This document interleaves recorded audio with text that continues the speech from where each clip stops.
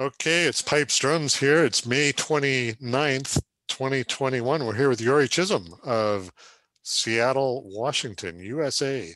And Jori is coming out with a brand new product. It's called the Perfect Angle Blowpipe Positioner. Uh, pretty cool product. You've had a sneak peek at it. So tell us a little bit about the Perfect Angle Blowpipe Positioner, Jori. Andrew, good to see you. Thanks for uh, thanks for having me on here. Yeah, so um, as you know, we pipers, we always play at our best when our pipes feel good and they sound good. So I've been playing for a long time and teaching full time for over 20 years now, and students of all different ages and levels and pipe bands. And so, as with a, a lot of people in my position who are top competitors and teachers, I'm totally obsessed with finding any way and doing anything that I can do to make my pipes feel really good they're efficient and steady and sounding good. So um, making sure that my I got the good reeds and that they're set up right and that my channel reed is in properly conditioned. And then in terms of making the pipe fit, it's really important to me that the bag is the right size, the blowpipe is the right length. But there's this additional problem that had bothered me for a long time, and that's the blowpipe. So the blowpipe, it's the only musical instrument component that I can think of that is held by your mouth, right? And most pipe bags that I've had, the natural position for where the blowpipe wants to go is not in the right position for me. So sort of wants to pop out or go to the side. And I know pipers will get really obsessive about retying that blowpipe stock just to try to do whatever they can do to get it in the right position. So that's the problem is that that blowpipe doesn't want to be where you want it to be.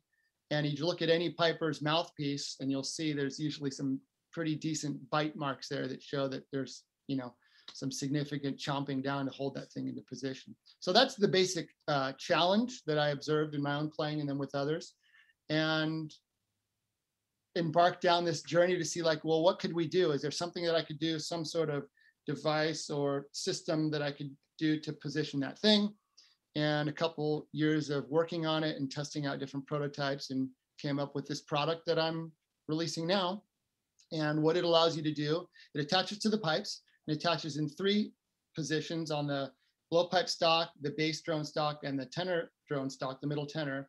And you can adjust these two little um, sort of strap like things, and you can adjust the exact angle of the blowpipe and then the position. So from side to side and then towards the player and away from the player. And if you get it right, it will sit exactly where you want it to sit, right in the center or side of your mouth, or if you want it. And then you can let go with your teeth in your mouth and it just stays right there. Hmm. Yeah, it's it's uh, you know I'm a big believer in uh, often that the the best products are kind of like seem like the most obvious ones. Uh, and uh, it seems like uh, this is just so simple and so straightforward. How much is is the positioner uh, going to be priced at? Uh, it's going to be thirty nine ninety nine. Okay. So, and, and, how you know we've we've seen the the ball and socket uh, you know adjustable flexible blow, blow pipes. how would this differ from that? Obviously, a lot cheaper. Well, cheaper, and um, what I like about um, the perfect angle is that it has a really sleek profile. So, you know, it, you maintain that traditional look. And um, I think that's important to us pipers. You know, we, we're sort of, we are innovating, but we want to stay true to our tradition, especially in terms of the appearance. And if you put it under your bag cover, it's totally invisible. So there's that advantage, maintain that traditional look. And also you can, you know, you can keep the blowpipe that, that came with your instrument. So it's a, it's a you know you don't need that extra part and it, it, has a nice visual look to it yeah for those uh you know silver and ivory uh old set of hendersons or Lawries or even some of the new pipes it's it's you know kind of important to hang on to your your blowpipe to for the aesthetic if nothing else and sounds like yeah good, i think it's solution. you know i think that's really important you know and um what this what this perfect angle product does is you get that the improved ergonomics and the ergonomics of piping has improved a lot over the years. If you look at the old photos with the you know little short pipers with these super long blow pipes, or the bag is shooting out so far that the pipe chanter is almost horizontal coming back towards them. And then the drones are tied out, you know, super wide spacing between the drones. All those things, you know, we know now um, about ergonomics and about having a neutral body position and about, you know, repetitive stress injuries that you can get if something is the wrong size or is putting pressure on um, over a long period of time, that stuff really adds up.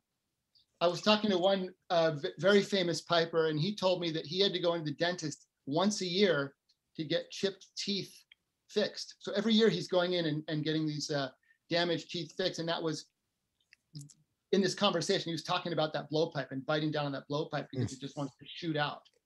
Um, yeah, so. yeah, and you know, if you're worried about your blowpipe flipping out, you know, which you know, I've got, I've got to confess, I've used to have a phobia about that. And so I was an early adopter of the ball and socket kind of concept that Colin Winstanley, I think, was the first person to come up with that. Um, you know, it's uh, it, it takes a lot of pressure off. You don't need that extra kind of thing in the back of your mind, you know, while you're trying to uh, get through the band performance at uh, a major competition. Oh gosh, I mean, there's there's just a lot that goes into feeling comfortable when you're playing your pipes and um, you know there's a physical conditioning component so you're you're always going to have to be in shape and make sure that you're practicing so all these piping specific muscle groups are are, are working and that they're, they're in shape but there's so much that we can do in terms of making sure that the instrument is set up and properly and maintained properly i remember so clearly when i got a bag that fit me and when I got a blowpipe that fit me. And especially with just I was a smaller kid, and, and that's one of the challenges of playing the pipes as a smaller person is that it's a big instrument. So anything you can do to scale it down to make it fit the player so much is just such a huge help. I remember when I finally got pipes that fit me and I could actually, my bottom hand would sit more comfortably on the chanter. I mean, I've got pictures of me as a kid playing with pipes that are way bigger than they are than what I play now when when I was a much smaller a much smaller person. So all those things add up to um, greater comfort, um, less strain on different parts of your body, and just the ability to enjoy playing. And I think that anything that we can do to make the bagpipe sound better, um, easier to deal with, more comfortable, less painful, these are all good things as far as I'm concerned for the individual and also for people who love piping and love the idea of of more people, you know, enjoying playing the bagpipes. It's all it's all it's all progress as far as I'm concerned. Yeah, and speaking of that, I mean, with bagpipelessons.com, you know, your your company, you've you've introduced quite a few products, uh, real in, innovative and often quite straightforward um, products. You know, I, th- I think you know, if one were to look at it, they're they're all geared towards making a better player. I think. Uh, so you know, but uh, is there a certain kind of piper who you're you're uh, trying to attract with your products? Do you have that kind of piper in mind, or is it just any piper? Yeah, I think it's it's any any piper. So I mean, my um, what I'm shooting for is try to find products that are useful and provide benefit to every kind of player. And those are the things that I'm most interested in in terms of making a positive impact for pipers. So, for example, my tone protector, which is this um, um, humidity controlling chanter cap, has been a very popular product and won an award um, from Pipes Drums. And we have players that are winning clasps playing this product, and we have players that are complete beginners. So it's the whole range. And to me, that's um, that means that it works because pipers are, um, you know, we're very practical types. And, and my products are not about looks. They're not, it's not like a some sort of stylistic accessory that you that you use to sh- to show something about yourself. These are products that are functional. And when you have you know, top grade one pipe bands and then pipe bands all the way down to, you know, sort of the parade band level and players at the whole spectrum. Um, to me, that shows that it works because pipers are practical and they're not going to be fooled into getting something um, well, certainly a, a product like the tone protector would not be successful at the level that it has been if it didn't really work and provide some benefit for people. Of course, yeah. Yeah, I mean, the proof is in the pudding is, you know, the adoption of the products. You know, we look back, you know, I can't help but think, you know, uh, 1960s or 70s, you know, sports like golf and skiing, very straightforward. You know, you you had uh, not a lot of selection when it come, came to uh, the clubs or the skis or things. And now today it's just like every year there's there's more and more kind of product. You know, it seems like a lot of parallels with uh, with piping uh, and drumming for that matter too. You know, uh, it seems like an endless stream of new products are coming out that promise to im- improve your game. Uh, you know, do you think piping and drumming are sort of is there an equivalence you know with that kind of hobbyist uh, right into skiing or golf or whatever sport it might be? Yeah I, am a skier i'm an avid skier i'm not a golfer so i don't know about the golfing world but i think we're in an interesting time now with um, online shopping and we have sort of this global marketplace so there's the opportunity for um, innovators, product developers, people running businesses, developing products to get your product out there. The barriers to entry are much lower. You can come up with an idea, get a Facebook page, and just kind of dive into it. Now, that doesn't mean that the products are going to be any good. So, still, that's the challenge is, and certainly that's what I'm striving for is to have products that really work, that provide value, that are useful to, you know, every piper. And um, I'm not interested in making uh, gimmicks or gadgets or things that um, you know just try to sell sell useless products to people. I'm interested in really helping make an impact and a positive impact for pipers. For sure. Uh, you know, it's uh, great to see more products coming out on the market, but you know, have to talk about your online competitions. Uh, you know the the solo online solo world championships uh you know and, and the stream of, of of those things um that have done so well you know really uh you've kind of wrote the book on it almost i, I think in, in 2011 you know when you first started online competitions and then you know if there's a silver lining you know that we always look for with the pandemic you resurrected them as a lot of people followed you uh, and that idea how's how how's that worked for you? It's uh, you know, I believe you had sixteen hundred entries uh, for the first one you did way back in the spring of 2020. How do you keep up right. with it all?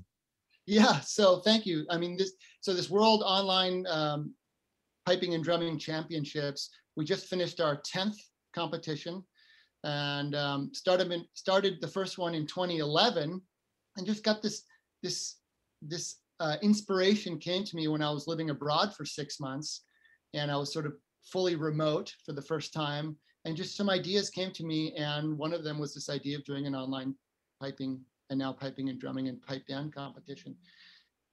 You know, competition is huge for us, as as you know, and as I'm sure most of the your um, our, our viewers know.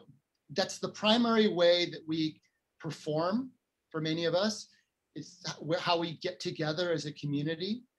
Um, and as we've seen over the last year, it's a huge part of how we find inspiration to keep practicing and to keep getting together as a band and to keep doing, you know, keep working on our uh, on our skills is through competition, for better or worse. That's just a, a big part of it for us. So I ran a bunch of these competitions about 10 years ago, and um, they were a success, had hundreds of competitors and entries and then got busy with some other things, working on my tone protector and some other products, had a couple young kids, and then um, had always thought that I would bring back the online competition. And then this last spring when the pandemic hit, that was when I knew, um, well, I felt a, I felt a responsibility to bring it back for the piping and drumming world because it was such a scary time, so much uncertainty. And it just seemed like the right thing to do. We got 1,600 uh, registrations. We did another one last summer and then in the fall. And then here we are. I never imagined we'd still be in the uh, in pandemic life. Here we are, and we just finished our, our 10th one. So uh, as far as I'm concerned, it's been a wonderful thing for our competitors and for our judges and for the viewers. To me, it seems like kind of a win-win all around. We get so much positive feedback from our competitors who are just incredibly thankful to have something to strive for, to be part of something that's big, um, to be able to get some feedback. You know, it's another thing that as competing pipers and drummers, we love getting those sheets and we love getting that feedback. So having world-class judges is really important. We want to pick judges who are world-class in their in their respective disciplines, but also who will do a great job with uh, awarding the prizes and will do a fantastic job with the with the comment sheets. So Yeah, feedback from the judges has been really positive. Um, and I just feel, you know, I feel fortunate um, to be able to give back over the last year. You know, I feel, you know, very thankful. I mean, my whole life has been piping for a really long time, and I've gotten so much from going to the local Highland Games and from all the volunteers and the associations. And I think sometimes as a competing piper, it's real easy to take for granted that you're just going to show up on a certain weekend and it's just all going to be there, you know, and, and you know, the tents are going to be there, the judges are going to be there, the stewards are going to be there, and um, then we get to go and do what we love to do. So it's to me, I feel uh, fortunate that I can be in this position with my online experience, and particularly with sort of, you know, creating this online piping competition format to be able to bring it back. Yeah. Well, I'm sure uh, everybody who takes part is appreciative as well, and you know they they have to recognize that the hard work that you've put into it, and uh, you know you and your team, and you know it shows in uh, the leadership I think position that you've you, you've sort of taken with the online competitions. Okay, so let's let's wrap it up. Back to the the uh, the products. You've always got something coming up. You're you know the perfect angle blowpipe positioner is the latest, but what's on the horizon? What's coming up? Gosh, well, I, I always have things in the works and um, I don't have any big announcements for you today, but in terms of the online competition, we'll be doing one in the summer. We're looking for a video deadline in mid to late August. So people can check out bagpipelessons.com and or check out the bagpipelessons.com Facebook page. And uh, I think just just stay tuned. You know, I think there are a lot of, you know, there are I think I don't think we're going to run out of ways to try to to find ways to make piping easier, have the instruments sound better, stay in tune longer, and be more comfortable. So that's just what I'm working on. That's great. Well, really appreciate the time, Jori, that uh, you've taken. Uh, thanks for the uh, the heads up and the the sneak peek and the the first out of the gate with a perfect angle blowpipe positioner. Good luck with the product, and we'll be looking forward to more stuff in the future for uh, for you and uh, bagpipelessons.com. Thanks, Andrew. We love we love pipes drums, and it's one of the places I go almost every day. And thanks for being a hub for keeping our community together over the last year, especially. All right, appreciate that. Yeah. All right. Thanks a lot, Jori.